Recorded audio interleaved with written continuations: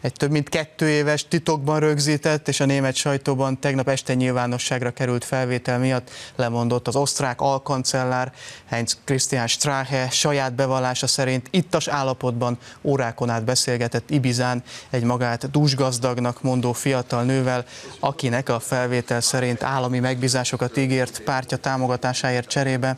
Általános vélemény, hogy Strahét szándékosan csalták csapdába. A távozó alkancellár azt mondta, hogy titkos szolgálati akció áldozata lett, aminek a célja, hogy felrobbantsák az osztrák kormány koalíciót. Vélhetően valóban előrehozott választásokat tartanak majd, vagyis az osztrák néppárt és a szabadságpárt koalíciója valóban felbomlik az ügy miatt.